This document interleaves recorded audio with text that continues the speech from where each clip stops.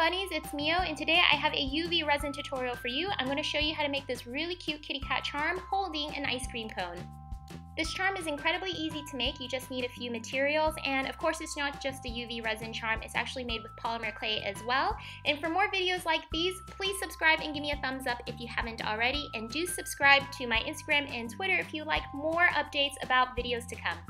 If you actually want this charm, I'm giving it away in person. I'm attending the A-Kon 28 Anime Convention at the Fort Worth Convention Center. If you're one of my viewers, come say hi, and if you're the first viewer to say hi to me, I'm going to give this charm to you. I would probably be very hard to spot because I am an Asian girl and I am probably going to cosplay as someone from Attack on Titan, but if you know what I look like and you see me, feel free to say hi and I'd love to meet a few of you guys. So let's go ahead and get this tutorial started, shall we?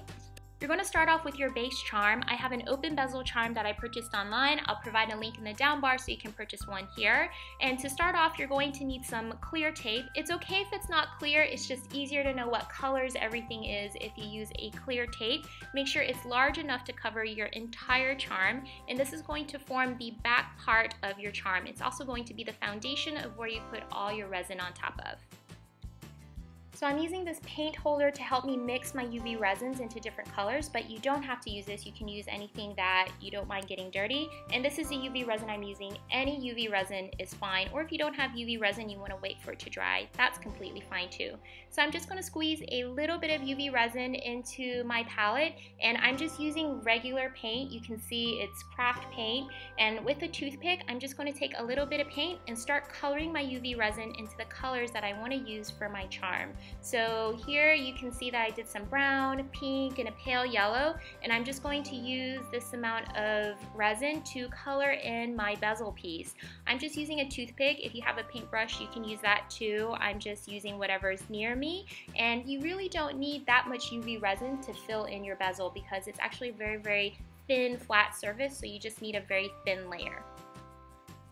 As you can see, this is pretty much how I colored in my bezel charm, and now I'm going to put it under my UV lamp. The UV lamp I have is actually to cure nails, and those lamps work just fine, but if you have an actual UV lamp for crafting, you can use that too.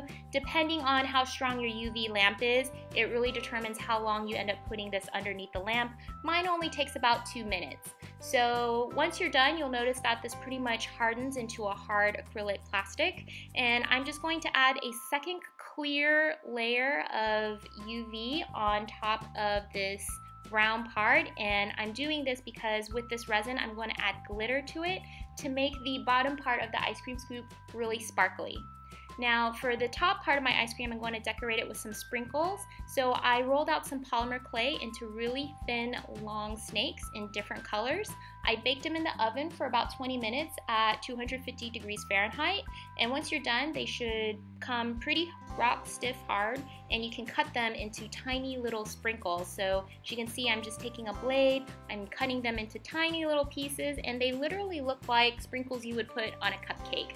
So I took some white UV resin that I created and I'm just going to dab a little bit on the top corner of my pink ice cream scoop and kind of drag it down a little bit so it looks like it's dribbling.